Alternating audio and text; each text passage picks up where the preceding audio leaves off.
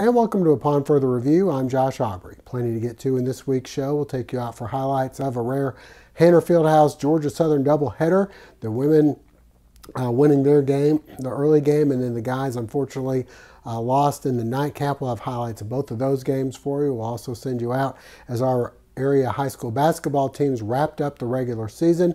The Portal Panthers giving Effingham County a scare on Saturday and then coming through with a big win uh, on Wednesday in their regular season finale at home against McIntosh County Academy. The girls unfortunately lost the game, uh, the earlier game. As for the Statesboro Blue Devils, they split with Brunswick on Tuesday. A couple big games as the girls fell to the number three seed and will be hosting the opening round of the region tournament on Thursday against South Effingham. As for the guys, they won the uh, regular season region. They're the number one seed and they will be uh, hosting the region tournament, which will begin next Tuesday for the guys, and they'll be awaiting their opponent, but they will play Tuesday at 7:30. So plenty to get to. We also had some signings, a couple over at Southeast Bulloch, uh, three player uh, high school student athletes signing scholarships over there. J.R. Robb with the Citadel you had Enosh McMillan with GMC and Christian Clark, quarterback for Southeast Bulloch, will be heading to Savannah State. We also had Ansley Woods over at uh, Portal signing a scholarship with Penn State Beaver for softball. We'll have all that and plenty more coming up on Upon Further Review. And a reminder before we go to break hopefully you'll never be in an accident, but if so, please give our friends at the Sullivan Law Firm a call. 912 489 8888 or online at thesullivanlawfirm.com. You choose the combination, and they'll cook it in their 500 degree brick oven in just a few minutes. Your own delicious pizza experience using only the freshest ingredients on hand tossed dough and individually sized just for you. And that Eagle Nation is why they're called Your Pie, because it's all about you. The Your Pie in Statesboro and downtown Savannah is owned and operated by Joe Hunt, a Georgia Southern grad. So when you order your next pizza, be true blue and make it all about you. Go see Joe at Your Pie, and I guarantee it, you'll be glad you did. McCook's Pharmacy, located on Highway 80 East, is family owned and operated by Lynn and Janie McCook, as well as their son, Josh McCook. Serving the Bulloch County area since 2005, McCook's Pharmacy offers fast and friendly service where the customers come first. Vaccinations are available, including shingles, flu, pneumonia, and Tdap, Drive through service is available with two drive through windows for your convenience. McCook's Pharmacy offers free local deliveries, and new customers are always welcome. Continuing the tradition of our family caring for your family, McCook's Pharmacy, Highway 80 East. Well, the Georgia Southern men and women both in action in a rare doubleheader at Hanner Fieldhouse. The Lady Eagles able to pull off the victory. The guys not as fortunate. They had their three-game win streak snapped. Let's send you out for some highlights. The first of two at Hanner Fieldhouse. The Georgia Southern women hoping to rock on Saturday as they host Georgia State. Early on, Janiah Love Hill hits the baseline jumper. Next, Taryn Ward, the nice spin move and the foul. Then a good save and an impressive reverse by Taya Gibson. More from Ward as she backs down the defender and then hits the bank shot. The Eagles would then go inside to Lydia Freeman. He get, who gets this one to fall. Then Love Hill later on the break, spinning and hitting for two, cutting the Panther lead to seven at the half. In the second half, the Eagles go on a run. Simone James, the hoop and the foul. And then Spotting up for three is Deja Holmes. The comeback continues. Ward, the hoop, and the foul. She'd finish with a game high 22 points along with 10 rebounds. Back to Ward, the off balance shot in the lane ties the game at 35.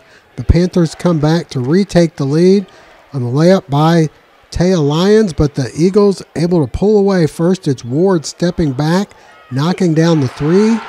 Later, off the steal, Love Hill cruises in for the layup. She'd finished the night with 17 points. And going back inside, Maya Banks for two. And finally, the nice spin move by Maya Burns. And the Eagles go on for the win, 71 to 61. Moving over to the guys' game, the Eagles hoping for the sweep. Georgia Southern hosting Troy. We pick things up in the first half and a nice look inside to Zay Williams with the dunk. The Eagles try and come back. Trey Cobbs hits the three pointer. Next, it's Caden Archie driving in for the layup. Then we go to Elijah McCadden. He hits the floater, gets the friendly bounce. The Trojans respond, taking an eight point lead on the layup by Desmond Williams. Again, the Eagles try and come back. The three pointer by Cam Bryant, but again, the Trojans with the answer. Efe Odigie, two of his 12. The Eagles try and stay close. Getty Yusupaitis with the reverse. And then a floater by McCadden. But the Trojans, too much as they go on to win this one by a final count of 61 to 52. Appropriately enough, Scotland type of weather for the opening round of the Georgia Southern Sharkey Invitational. Wet and cold at the Georgia Southern Golf Course, but here Luke Dasher drains the birdie putt on nine. Over to 10 we go, and a nice day for Eagle freshman Brantley Baker. The nice approach here. He gets that within about 20 feet. He ends up just shy with the birdie putt but he'd finished the day in fourth place at four over. A tough field on hand, seeing Clemson's Colby Patton with the par putt. He's tied for sixth individual. Tennessee's Cade Russell with the nice touch on the birdie here, leading the way for the Volunteers. But the man on the day was Eagles senior Mason Williams here the eagle putt on number nine, which he just misses. He'd tap in for birdie. Then we move over to number 10. Williams over the green. But a nice chip shot here. Nestles up close. And then we move over to the par 5 10th hole and Williams for birdie. He drains it. He'd finish day one in first place with a two shot lead. Final round of the Sharkey Individual Intercollegiate at the Georgia Southern Golf Course. Some nice shots in Monday's final round. Clemson's Drayton Stewart with the chip on 18. Nearly holds it. He'd go on to par over to the par 5 15th, and Virginia's Jason Leisure with the birdie. He'd finished tied for third overall. Clemson's Colby Patton with a strong tournament here on the par 3 16th. The nice tee shot to within a few feet. He'd place second after a 69 Monday, back to 15. And the Eagle for Virginia's Chris Fosdick, he'd tie for fifth place. As for the host team, the Eagles with some nice shots here. It's Luke Dasher, the approach on the par 5 first. He'd step up and make the birdie. Eagle freshman Brantley Baker able to drain the long par putt on 16. He'd tie for seventh along with teammate Jack Bolcha. But everyone was chasing Georgia Southern senior Mason Williams. He'd have a one shot lead coming in. Williams would fire a five under on the front nine and cruise from there. His second shot coming up right here on the par 5 15th. He puts it to about eight feet away. He'd have that left for Eagle he just misses the eagle putt, would tap in for a birdie. Then on 18, he'd finish things off in style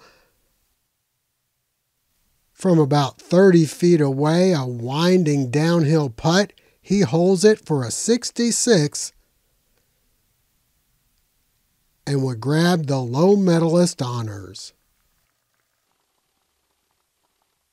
Feel awesome. It's been a been a fun weekend. Just talked to my parents. They couldn't make it this this week, but I just cried talking to my mom. I miss them so much, and they've been through a lot with me, and I just really appreciate them. It was definitely a sharky weather yesterday. It was cold and rainy and windy, and we were all thinking about him. We really appreciate him, you know, putting his name here and and the family for doing all they've done. And it's just been, I mean, what a week. Yesterday was really tough. Today was not quite as bad, but still tough conditions and just a really fun couple days. Uh, that putt on 18 was carrying a little bit of steam, so glad that one hit the hole and went in. Uh, but it was a fun, fun day. Uh, both of the rounds yesterday were very good. 73 was strong in the in the cold, breezy morning, and then 72 in the rain um, was extremely good. And um, came out this afternoon with a or this morning with a two-shot lead and shot 66 was extremely impressive. One of the best rounds I've, I've seen in a long time. So he's got a lot to be proud of. It's very proud for him. Special week for our team program to be able to compete in a tournament named after Thomas um, is always an honor for us. Um, the weather is, you know, it's perfect. It's like he placed it on us himself. Uh, for us to be able to grind and compete is something that he would encourage all of us to do. Um, so proud to be playing in this tournament. But uh, you know, the weather, it was tough, but I think that brings an opportunity to fight through some adversity. And if you can play in this, you can play in anything. So I'm glad we got the experience this week. We'll be right back with some area high school signings as well as some basketball action. Family Internal Medicine Associates of Statesboro, providing primary care for Statesboro area patients since 1998, providing complete physicals, complete sports physicals, Medicare wellness exams, full diabetes treatment, and education from lifestyle changes to oral medications to insulin pump therapy, in house dermatology, in house circulation tests, and ultrasounds and in house labs. Featuring nurse practitioner Melissa Beasley, Family Internal Medicine of Statesboro can accommodate same day or next day appointments to serve your needs. Family Internal Medicine Associates of Statesboro, where we care. At Badcock Home Furniture and More, we know what it means to find the perfect fit. The feeling of surprise. That just right moment of delight. It's what we see every time a family finds their priced right style and snuggle perfect comfort. Because for us, home isn't simply where you live, it's how you live. Badcock Home Furniture and More. Just right. Well, National Signing Day was last week, but we still had a couple uh, holdovers this week at Southeast Bulloch. J.R. Robb, offensive and defensive lineman, signing with the Citadel. You had Enosh McMillan, a defensive back and receiver, signing with GMC. And quarterback Christian Clark is off to Savannah State. We had a chance to talk to them about their decisions. Uh, today is one of like one only chance you get of a lifetime. Uh, Savannah State really is a culture that I'm looking for, has a tradition, and I feel like I can win and go play there. Coach DeMasi should definitely get the job. I love what he's doing. We just got 30 new recruits on signing day, so I feel like he should be the head coach. Uh, we all have a big group chance. All we talking about is working hard together so we can get to the national championship. So I feel like we're gonna have a great year. A little, a little excited and nervous at the same time. You know, it's just a chance to, I guess, improve or um, like a next step in life. It just reminded me of Southeast Bulloch. Really, it just felt like home. I'm looking to play a couple of years and go to any school that's better or like a next level or something. Feel pretty good about it. Uh, was super excited uh, when I got invited up there to take a visit. Um, went up there, took a campus tour early December, and loved everything about the place. Um, it's a super cool place. Um, good college town, good college community, and a lot of opportunity for after college experience. Uh, men and my family have always uh, joined the service. Um, supposed to earn your place, and that's how you do it. You join the service, and uh, going to the Citadel will put me in a place where I need to be. I can come out of there with rank as an officer and um, commission in the armed services um, after graduation and pursue my military career there.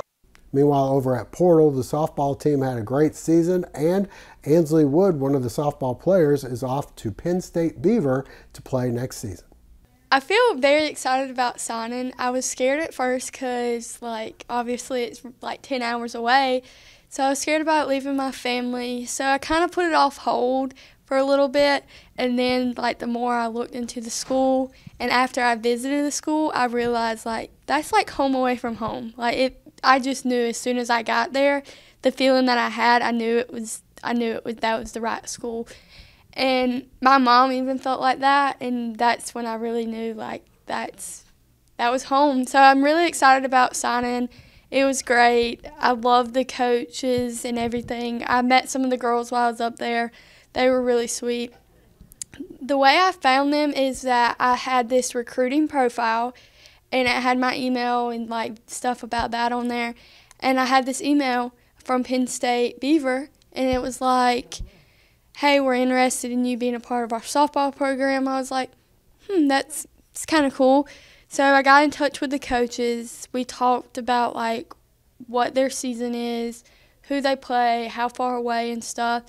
And like I, my main concern was what does it feel like being there? And he was like, we're all just a big family. We have people from all over, like the state, the country, out of the country. And I was like, I really like that because I'll be really far away. So that's really what happened. I saw that email and then we're here now. I'm signing for them. Went to visit and everything else. So it was a blessing in disguise, really. So congratulations to all those athletes. As for our area high school basketball, I had plenty of that going on. The Portal Panthers with a couple of games. Statesboro with the big game on Tuesday. Let's send you out for some highlights. Statesboro High hosting top seeded Brunswick in their regular season finale. We pick up the action in the first half, and Tarika Gibson gets the friendly bounce. Next, Madison Lee with the turnaround jumper. But the Pirates responding from long distance. The three pointer from Dariana Johnson, and then it's Shakardia Cowart for three. The Blue Devils try and stay close. Alyssa Staten coming through with the rebound and the putback. And then it's Ashari Washington getting free inside for two.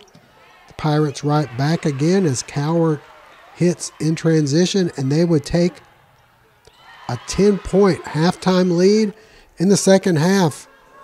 Rhea Johnson gets this one to fall.